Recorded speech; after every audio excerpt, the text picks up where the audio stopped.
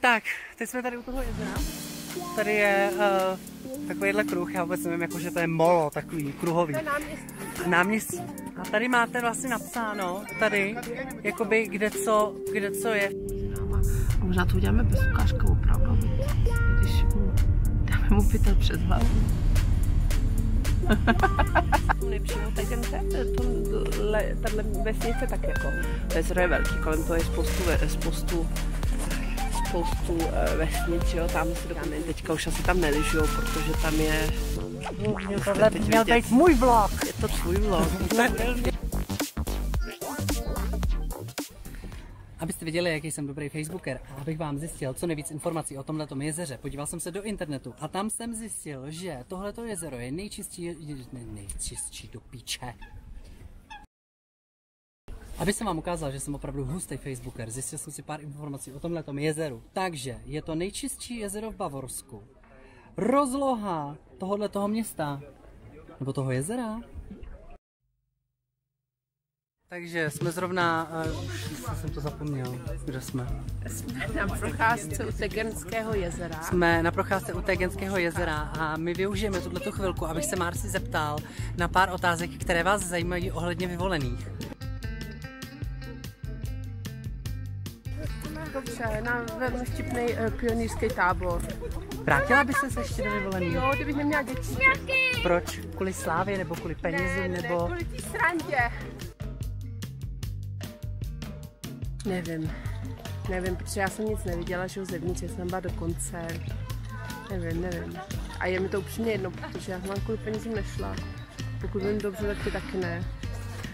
Uh, já ne, já jsem tam šel kvůli tomu, abych byl slavný. Dlouho, no.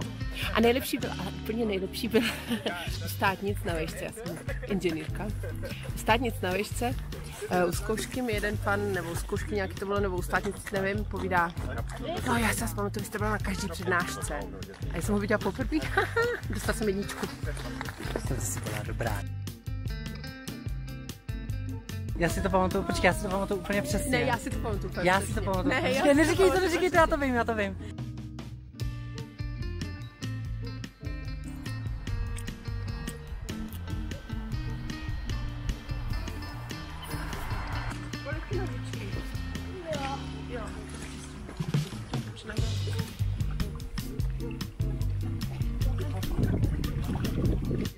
Momentálně jdeme tady do této kavárny, která se jmenuje Aran a dáme si tam koláč a kafe.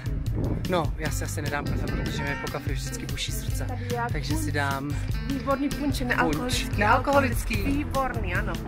A čající. Nealkoholický nevím, jestli jak moc jako rajčovou, nealkoholický.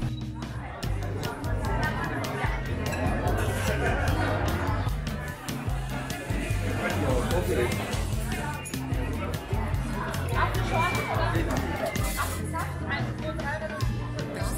objednal do tenhle ten, je to karamel. S čím to je? To je sladý karamel s arašidem. Slaný karamel s arašidem a je to legenda. Já jsem si myslel, že to přece nejde, aby byl člověk takhle hodnej.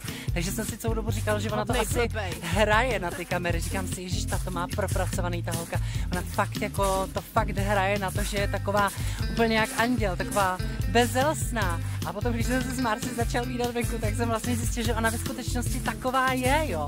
A vlastně to zase řekl, že Maria, tak já se s ní určitě budu kamarádit, protože dneska najít člověka, na kterého se můžete spolehnout a který vám často pomůže, jakože mi Marci pomáhá hodně často v mém životě, tak vlastně uh, to je štěstí, že? jo. Takže já můžu být rád za to, že jsem tu soutěž nevyhrál a že jsem naopak uh, dostal to nejlepší, co jsem mohl dostat a to je to nejlepší kamarádku, kterou mám, že?